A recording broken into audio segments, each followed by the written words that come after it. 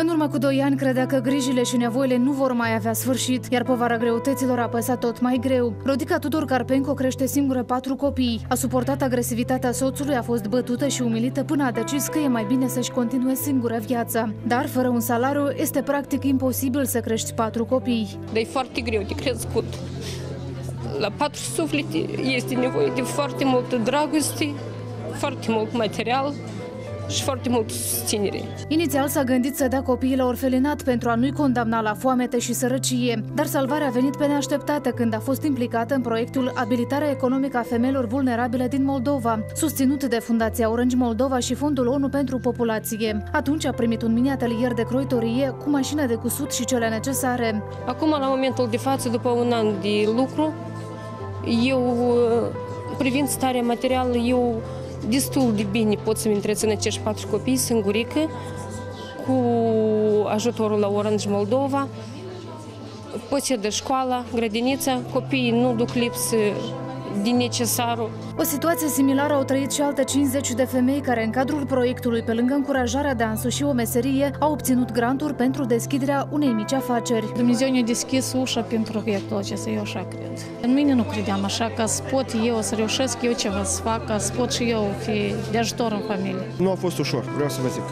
Femeile au fost foarte închise, nu și-au arătat din start disponibilitatea de a participa la, la acest proiect a fost nevoie de timp să convingem femeile, să le acordăm o consiliere specializată și psihologică inclusiv pentru a-și depăși momentele acestea dificile, de a avea încredere în sine. Astfel, timp de un an și jumătate, proiectul Abilitarea economică a femeilor vulnerabile din Moldova a oferit un sprijin, încredere în sine și, cel mai important, independența necesară pentru a-și întreține familia pentru 1066 de femei din Moldova, victime ale violenței în familie. Primul scop să creăm primize sau instrumente pentru această independență economică. Uh, să aibă posibilitatea să-și dezvolte afacere, uh, să aducă bani în casă, uh, să aibă cu ce să-și hrănească copiii mâine. Da? Și când vedem aceste rezultate frumoase cu care ne mândrim, practic deschid ușa în viitor. Da? Într-adevăr, ne bucurăm de aceste rezultate. Compania Orange Moldova este de fapt un model în, în acest sens. Uh, proiectul cu adevărat uh, are un succes remarcabil. Is that when you give empowerment to women, when you help women fulfill their potential, then everybody benefits.